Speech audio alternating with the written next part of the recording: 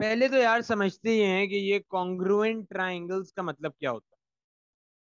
Basically बेटा इनको हम बोलते हैं exactly same triangles all angles plus all sides are same इसका मतलब क्या होता है? Exactly exactly same triangle all angles plus sides are same. All angles plus sides are same. अब इसकी कुछ ना बेटा मिनिमम कंडीशंस होती हैं वी नीड टू नो इसकी कुछ मिनिमम कंडीशंस हैं जो हमें पता होना लाजमी minimum sir, can you repeat? मैं फिर से रिपीट कर देता हूँ। बेटा कॉन्ग्रुएंट एक ट्राइंगल ऐसे होता है दो ट्राइंगल्स हैं बेसिकली अब हम कैसे बताएँगे कि सर ये दोनों ट्राइंगल कॉन्ग्रुएंट हैं या नहीं? कॉन्ग्रुएंट ट्राइंगल का मतलब होता है exactly same triangle exactly same triangle exactly same का मतलब है all angles plus all sides are same clear है बेटा? बात समझ आई? जी। अब हम डिस्कस करते हैं बेटा minimum condition we need to know minimum conditions we need to know. वो कौन सी मिनिमम कंडीशंस है बेटा जो हमें पता होना लाजमन है, जो हमें पता होनी चाहिए हैं? Number one is side side side ठीक है बेटा, इसका लिखें एस एस एस का लिखें। If we can prove if we can prove three sides of two triangles equal three sides of two triangles equal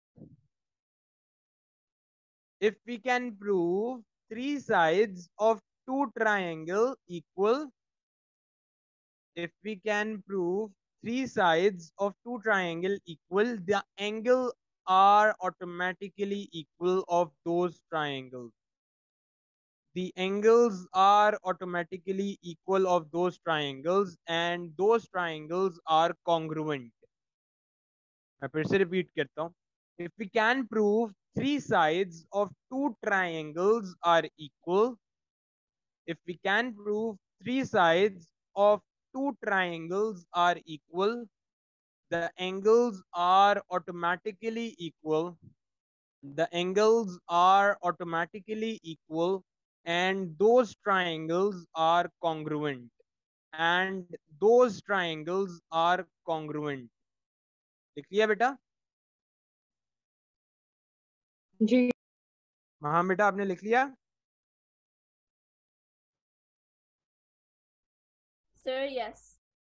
okay next property we have side angle side side angle side इसकी property लिखिए बेटा इसकी description लिखो बेटा ये side angle side क्या है? If we can prove two sides if we can prove two sides and included angle equal if we can prove two sides and included angle equal for two triangles for two triangles they become congruent they become congruent If we can prove we two can sides prove, and and included angle equal. If we can prove two sides and included angle equal for two triangles for two triangles they become congruent. Side angle side kya kehta hai? If we can prove two sides and included angle equal for two triangles they become congruent they become congruent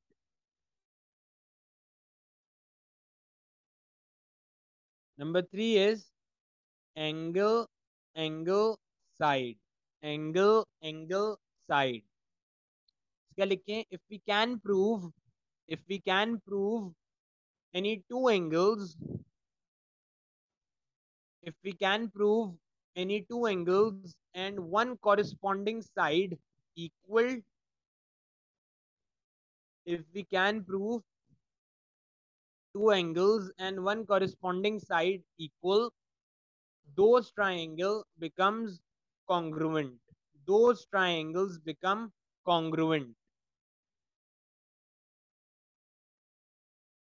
If we Those triangle becomes congruent. If we can prove two angles and one corresponding side and one corresponding side equal equal those triangle become congruent those triangles become congruent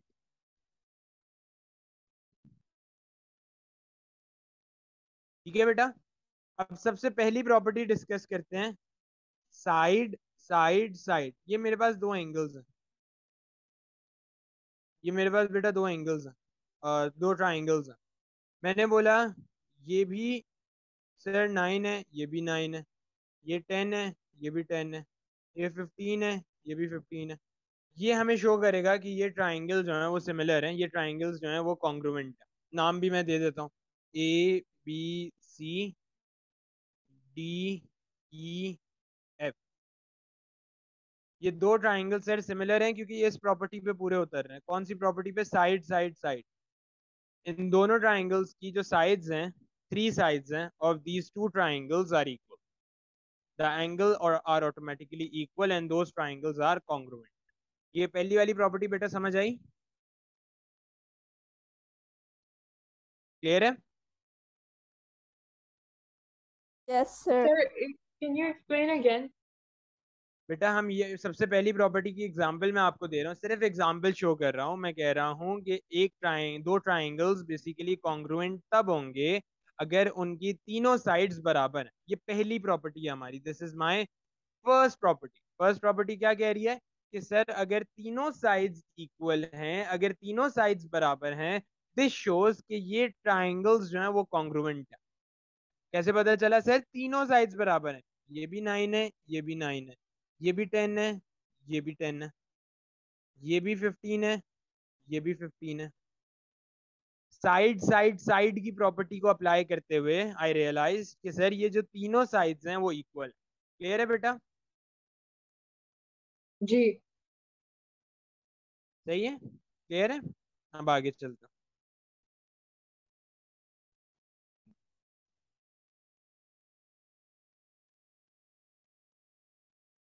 जैसे आप, मैं बताता हूँ आपको कि सवाल किस तरह से देगा।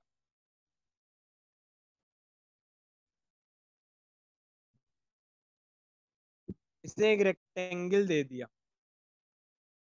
इसने एक बेटा आपको रेक्टेंगल दे दिया। सही है? और बीच में बेटा इसने एक ट्राइंगल बना दिया। दो ट्राइंगल्स बेसिकली बना दिए कौन से sir A B C D this is a triangle इसको दो हाफ्स में डिवाइड कर दिया रेक्टेंगल को दो हाफ्स में डिवाइड कर दिया और ट्राइंगल्स हमारे पास दो फॉर्म हो गए. कौन से दो ट्राइंगल्स फॉर्म हो गए sir triangle A B D और ट्राइंगल बी सी डी ये दो ट्राइंगल्स हमारे पास फॉर्म हो गए. अब मुझे शो ये करना है कि क्या ये कॉन्ग्रुवेंट हैं या नहीं. सर, मुझे रेक्टेंगल की एक चीज़ पता है।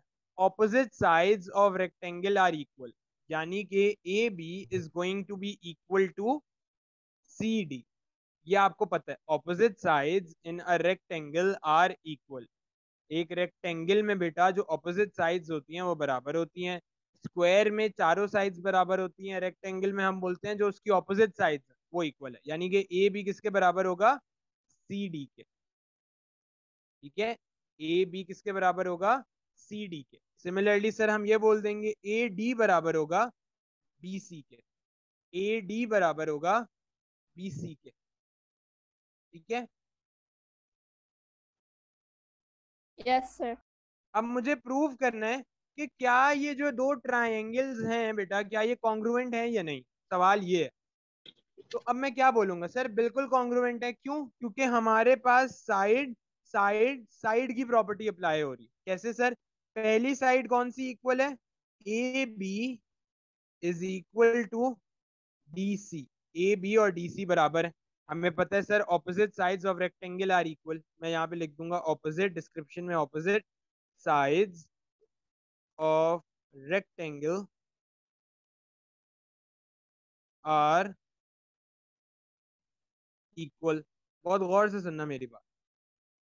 ठीक है, ये मैं मेंसुरेशन में भी आपको बता चुका हूँ। एरिया और रेक्टेंगल स्क्वायर्स ये सारी चीज़ें डिस्कस करी हैं हमने। फिर हमारे पास अगला कौन सा साइड आ गया? एक साइड पे तो हमने भाई अकम्पलिश कर लिया काम, पूरा हो गया। अब अगला क्या हमारे पास आ गया? अगली साइड हमारे पास सर आ जाती है ए डी और बी सी सर मैं ये भी बोल सकता हूँ A D is equal to B C ये और ये भी बराबर होंगे। This one is going to be equal to this one same property sir apply हो रही है। Opposite sides of rectangle are equal आप सेम ये चीज़ यहाँ पे भी लिख दोगे। Opposite sides of rectangle are equal ठीक है? तो दो हमारे पास आ गए। अब सर तीसरी वाली कैसे इक्वल होगी, वो हमें कैसे पता चलेगा? सर डी बी जो है, वो तो दोनों ट्राइंगल्स में कॉमन है। तो ये तो ज़ाहिर सी बात है बराबर होगी। ये तो ए बी डी में भी है और बी सी डी में भी है। तो ये तो कॉमन है बी डी बी डी तो हमारा कॉमन है।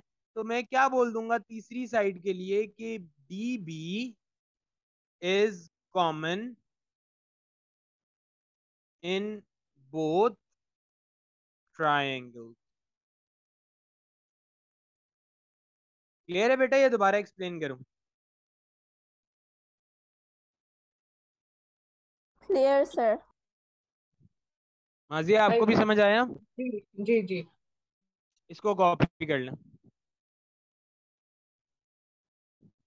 कॉपी कर लें बेटा। Hence S S S property triangle A B D is equal is congruent to triangle C B D is congruent to triangle CBD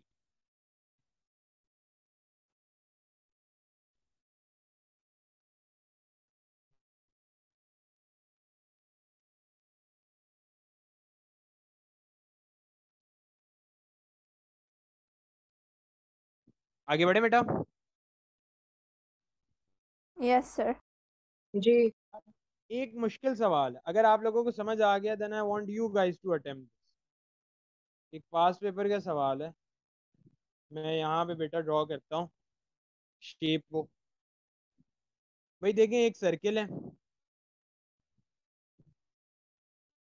ठीक है, एक स्मॉल सर्किल है और उसके अंदर एक और सर्किल एक लार्ज सर्किल सही है? ये मेरा मिड पॉइंट है। ओ सही है? मेरा मिड पॉइंट है ओ और बेसिकली मैं बात ये कर रहा हूँ। यहाँ से यहाँ तक बेटा ज्वाइन हो रहा है, ठीक है? और फिर हमारा मिड पॉइंट से यहाँ तक ज्वाइन हो रहा है, और फिर हमारा यहाँ तक मिड पॉइंट है मिड पॉइंट से यहाँ तक, फिर यहाँ तक। सिमिलरली सर ये पहले यहाँ तक गया, ये डी है आपका। और सर फिर ये चला गया, यहाँ तक, ये बी है आपका। ठीक है। मैं नाम भी दे देता हूँ दिस इज़ ए सी और दिस इज़ डी बी सही है? मेरा सवाल ये है you have to prove these triangles as congruent अब आपने प्रूव करना है कि ये दोनों सिमिलर हैं। ये जो दो ट्राइंगल्स हैं ओ ए सी और ओ डी बी ये दोनों सिमिलर हैं, ये दोनों कॉन्ग्रुएंट हैं। ट्राई करें। मैं पाँच मिनट दे रहा हूँ। I just want you guys to attempt this कोशिश करो। ट्राई मारो। अभी तक बेटा क्या होगा? रेडियस रेडियस ये तो हमने छोटे वाले सर्किल की बात करी। अब बड़े वाले सर्किल की बात करें। बेटा ओ से ए तक क्या होगा? O से A तक uh, is circle also is also radius. Radius लेकिन इसको बिग रेडियस बोल दूँ मैं? This is a small radius this is a bigger radius bigger circle का रेडियस और ओ से बी तक बेटा? Radius, big radius. Big radius बात क्लियर माजिया मैं ये बोल सकता हूँ कि अगर ओ से डी तक बेटा ओ से डी तक बेटा if the radius of from O till D is four तो ओ से सी तक भी आपका फोर के बराबर होगा। जी सर डेफिनेटली ये बात आपको पता है। क्यों पता है? क्योंकि सर डायमीटर किसके बराबर होता है? टू टाइम्स रेडियस अगर सर ओ से डी तक आपका रेडियस है तो ओ से सी तक भी तो आपका रेडियस होगा। और ये दोनों बराबर होंगे। ये दोनों बराबर होंगे। सिमिलरली बेटा, अगर मैं बड़े रेडियस की बात करूँ तो मैं अगर इसको बोलूँ ओ से ए तक आपका रेडियस है बेटा एट तो ओ से बी तक भी आपका रेडियस एट होगा या नहीं? बिग सर्कल की हम बात करें जी। ये भी एट होगा। अब एक प्रॉपर्टी आपको समझ आई? जी। हम ये बोल सकते हैं पहली साइड बेटा कौन से बराबर होगी?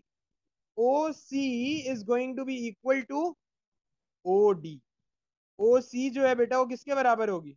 ओ डी के बराबर होगी। ऐसे है बेटा या नहीं?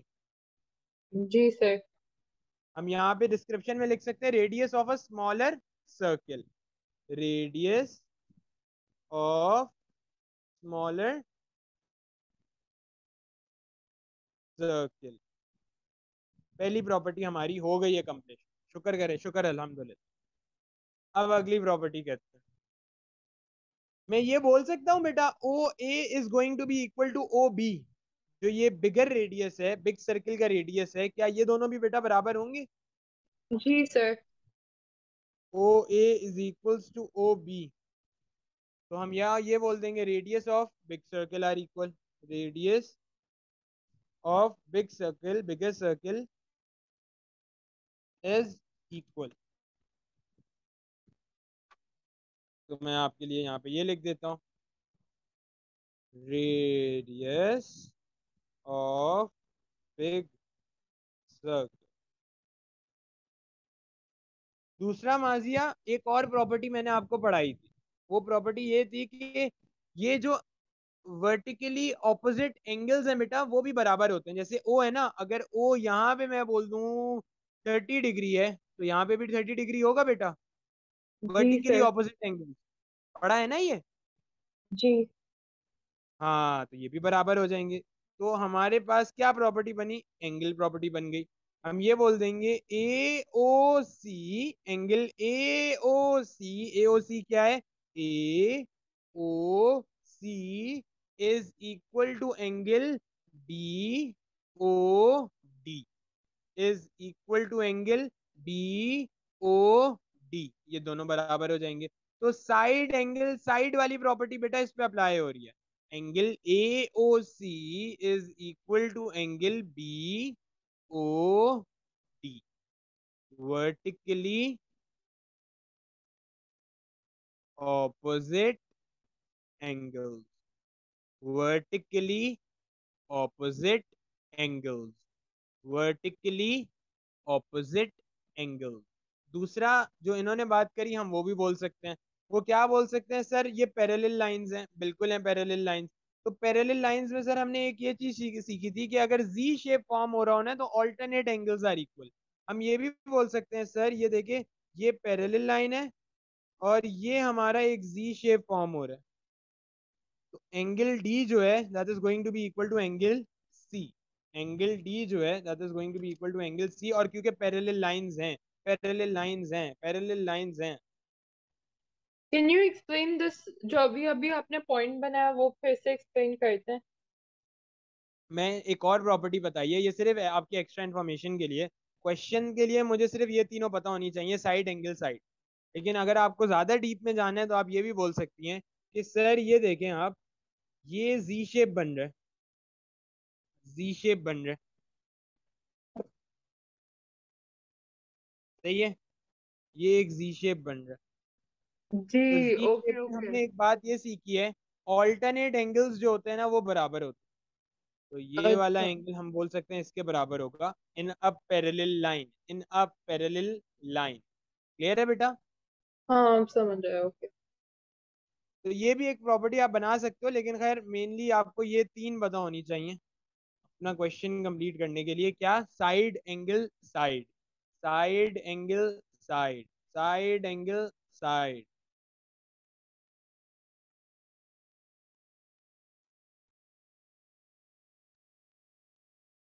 अब एक और सवाल मैं आपको बेटा देता हूँ, वो अटेम्प्ट करें। टाइम लो बेशक, लेकिन सही बताओ आंसर ये भी सिमिलर क्वेश्चन है।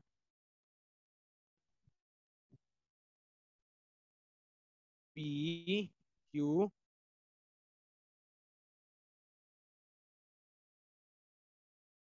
R J K L thirty fifty fifty thirty twelve आप लोग, ये मैं बता रहा हूँ, ये कॉन्ग्रुएंट है। आपने सिर्फ़ मुझे प्रूफ करके देना है कि ये कॉन्ग्रुएंट क्यों है। डिस्क्रिप्शन लिखनी है बस। लिखें और अपना आंसर मुझे बेटा अच्छा देखिए मेरी बात सुने, बिल्कुल सही लिखे हम इसको क्या बोलेंगे बेटा? हम इसको किस तरह से सॉल्व करेंगे? सॉल्व करने का हमारा तरीका ये होगा, हम ये बोलेंगे बेसिकली कि सर साइड बराबर है कौन सी? पी क्यू साइड बराबर है। सर कॉमन सेंस से नज़र भी आ रहा है हमें कि sir side P Q is equal to K L side P Q is equal to K L which is equals to twelve इसको हम ऐसे लिखते हैं बेटा। गिवन माजिया, बेटा आपके चीज़ सही लिखी है बट लिखने का तरीका गलत था। आपने जे और के आपने ऐसे लिखे, ऐसे नहीं लिखते। इसको लिखने का तरीका ये होता है। आप साइड की बात कर रही है ना, आप पहले एस लिखें। एस के बाद लिखो बेटा P Q P Q is equal to K K L P Q is equal to K L given बताया हुआ है आपको क्वेश्चन में। एंगल बोलना है। वहाँ आपको भी बता रहा हूँ, बेटा एंगल लिखने का क्या तरीका होता है? आप क्यू की बात कर रही हैं पी क्यू आर जिसमें आप एंगल क्यू की बात कर रही है ना तो हम इसको ऐसे लिखेंगे। एंगल हम मेंशन कर रहे हैं। एंगल हम मेंशन कर रहे हैं, हम क्या करेंगे? पी क्यू और क्यू के ऊपर, बेटा, एक हेड बना देंगे डैश बना देंगे। ये एंगल का साइन होता है कि हम एंगल क्यू की बात कर रहे हैं। कौन से ट्राइंगल में? पी क्यू आर में। पी क्यू आर में। Angle P Q R is equal to J K L अब के क्यों किसकी बात कर रहे हैं, सर हम? हम किसकी बात कर रहे हैं? हम के की बात कर रहे हैं। कौन से ट्राइंगल में? जे के एल तो क्योंकि मैं एंगल के की बात कर रहा हूँ तो एंगल के के ऊपर मैं एक हेड बना दूँगा। ये एंगल का साइन होता है। और यहाँ हम लिख देंगे is equals to how much 30 degree ये भी 30 डिग्री है। पी क्यू आर में और जे के एल में भी बेटा के जो है एंगल के जो है, वो आपका 30 डिग्री के बराबर तो मैं इसको लिखूँगा 30 और ब्रैकेट में लिख दूँगा गिवन ठीक है? फिर मैं अगला क्या करूँगा? अगला हमारा रह गया 50 अब मैं इसको कैसे बोलूँगा? मैं बोलूँगा angle P R Q angle P R Q P R Q is equal to is equal to angle K J L K J L K J L is equals to fifty degree यहाँ पे भी आप degree लगाओ। Side पे सिर्फ़ नहीं लगेगा बाकी एंगल्स जब भी आप मेंशन करते हैं उसके ऊपर डिग्री लगाते हैं। Sir, ये भी हम लिख I देंगे didn't I didn't write it like that either. I didn't write it like that either. But not exactly. I wrote PQ हाँ, मैं मैं आपको लिखने का तरीका बता रहा हूँ। बेसिकली लिखते इस तरह से ये प्रॉपर हमारा तरीका होता है पेपर में लिखने का। ऐसे ही फजूल में मार्क्स डिडक्ट हो सही नहीं है ना तो हम जो प्रॉपर काम, हमें जो प्रॉपर फॉर्मेट दिया हुआ है, हम इसको इसी तरीके से लिखें। साइड की बात कर रहे हैं एस लिखा, फिर मैंने लिखा P Q is equals to K L is equals to twelve given question में बताया हुआ अब एंगल की बात कर रहे हैं ए लिखा पी क्यू और क्यू के ऊपर बेटा हमने एंगल का साइन बना दिया। इसी तरह के के ऊपर हमने एंगल का साइन बना दिया और हमने लिख दिया is equal to thirty degree ठीक है? ये हमने कर दिया। अच्छा अगर मैं एक रैंडम मेरा सवाल है। अगर मैं आपसे बोलूँ बेटा माजिया आप मुझे बताओ एंगल पी की क्या वैल्यू है? तो आप क्या बताओगे? One minute, I'll tell you. 100 One minute. 100. 100 होगी बेटा। क्यों? Because sum of angles in a triangle is 180 तो अगर आप 180 में से 80 सब्ट्रैक्ट करोगे, आपके पास 100 आएगा। तो ये 100 है तो ये भी 100 होगा। ये भी आपका 100 हो गया। एक ये भी हम बोल सकते हैं कि angle Q P R is equals to angle J L K जिसमें एंगल पी और एंगल एल जो है, वो दोनों बराबर है। तो एक और हम बोल सकते हैं, ये एक्स्ट्रा बता रहा हूँ आपके लिए कि पेपर में कभी नहीं समझ आ रहा हो तो कोई और प्रॉपर्टी भी आप लगा सकते हो। हम ये बोल सकते हैं कि एंगल क्यू पी और पी के ऊपर हेड बनेगी। R is equal to angle J L L के ऊपर हेड बनेगी। K is equals to hundred degree hundred degree अब ब्रैकेट में आप लिख सकते हो sum of angles in a triangle is equals to 180 so angle L will be equal to 180 minus 80 Maziya clear है? जी। अब एक सवाल बेटा आप लोगों को और दे रहा हूँ ये जरा अटेम्प्ट करो।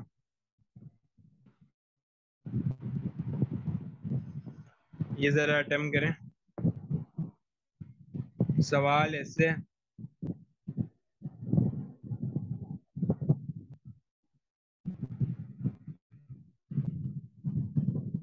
ठीक है? ये नाइन्टी है, ये भी नाइन्टी है, ये फाइव है, ये थर्टीन है, ये थर्टीन है, ये फाइव है, ये ए है, ये बी है, ये सी है और ये डी है। You have to show you have to show that these two triangles are congruent triangle A B C is congruent to triangle E C D ECD और ABC Sir, but जो है वो दोनों congruent. है। क्या कह रहे हैं? They're not congruent because one of them is bigger than the other. तो बेटा एंगल तो बराबर है ना। हम सिमिलर मैंने क्या प्रॉपर्टी आपको सिखाई थी? Side angle side side angle angle side side side अगर ये तीनों प्रॉपर्टी में से बेटा कोई भी इक्वल आ रहा है तो हम बोल सकते हैं कि वो कॉन्ग्रुएंट है। उसकी बेस बेटा हो सकता है इस ट्राइंगल को उन्होंने लिटा दिया बेंड कर दिया तभी आपको वो बिगड़ लग रहा। ले रहे बेटा? बात Yes, मेरी sir. समझ आई? Yes, sir.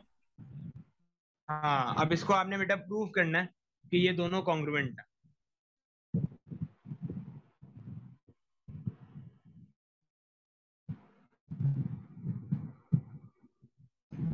इसको प्रूफ करेंगे ये दोनों कॉन्ग्रुएंट है। उससे बेटा दो एंगल्स दे दिए कौन से दो मुझे एंगल्स दे दिए सर एक एंगल गिवन है थर्टी सिक्स एक एंगल सर गिवन है एटी टू सही है? एक साइड यहाँ पे मेंशनड है सिक्स और इस ट्राइंगल का नाम है ए बी सी फिर एक और ट्राइंगल उसने मुझे दे दिया सर जो कुछ इस तरह से ये ये वाला ट्राइंगल क्या कह रहे हैं? Is this a question? Yes this is a question ये क्वेश्चन है। और ये सिक्स है। और इस ट्राइंगल का नाम है D E F D E F D E F अच्छा जी अब सवाल यहाँ पे ये है कि हमें ये शो करना है कि क्या ये ट्राइंगल कॉन्ग्रुएंट है या नहीं। सर सबसे पहली प्रॉपर्टी जो यहाँ पे देख के मुझे नज़र आई है ना, वो तो ये है कि साइड बराबर है। कौन सी साइड बराबर है? A B is equal to अब मैं आंसर कर रहा हूँ। ये शो कर रहा हूँ कि क्या ये कॉन्ग्रुएंट है या नहीं है। A B is equals to D F A B is equals to D F कितना बराबर है? Six centimetre. साइड हमेशा सेंटीमीटर में। फिर मैं आगे ये बोल सकता हूँ एंगल सर इक्वल है। कौन सा एंगल इक्वल है? ए बी और बी के ऊपर हम कैप डालेंगे? C is equals to angle E D F D के ऊपर आप कैप डाल दोगे? किसके बराबर है? 82 डिग्री के। ये देखो, यहाँ पे भी बेटा 82 डिग्री है, यहाँ पे भी 82 डिग्री है। अब तीसरा एंगल मुझे ढूंढना है। मैं कैसे ढूंढूँगा? मुझे ये पता है sum of angles in a triangle is equals to 180 degree sum of angles in a triangle is equals to 180 degree अगर मैं इसको y कंसिडर कर लूँ, और इसको बेटा मैं z कंसिडर कर लूँ तो मैं आराम से वैल्यू कैलकुलेट कर सकता मैं ये बोलूँगा y plus thirty six plus eighty two is equals to one eighty two is equals to one hundred and eighty degrees तो ये हो जाएगा x equals to one hundred and eighty x is equals to 180 minus 118 x is equals to 62 हमारे पास इसकी value आ गई बेटा basically इसको x बोल देते हैं। इसकी वैल्यू आ गई 62 डिग्री कैसे निकाली? Sum of angles in a triangle is equal to 62 degree y plus uh, इसको x कर दो। X plus 36 plus 82 is equal to 180 x plus 118 is equal to 180 x is equal to 180 minus 118 x is equal to 62 clear है बेटा? समझ आया? जी। हमने ये value निकाल ली। अब जी की वैल्यू निकालते हैं। Z की आप लोग मुझे निकाल के देंगे मैं थक गया हूँ अब आप लोग निकाल के देंगे। बताएँ मुझे जी की वैल्यू क्या आएगी बेटा? एंगल जी कितना आएगा? 36 36 माजी आपका भी 36 आ रहा है? यस 36 डिग्रीज तो तीसरी एंगल की प्रॉपर्टी दोबारा बन सकती है। हम ये बोल सकते हैं sir angle C A A के ऊपर cap B is equals to angle D F F के ऊपर कैप ई हम बोलेंगे angle A is equals to angle F कितना? 36 और चौथी प्रॉपर्टी आप बना सकते हो 82 वाले की. आप बी और डी को इक्वल कर सकते हो. क्लियर है बेटा? ये समझ आ गया? जी।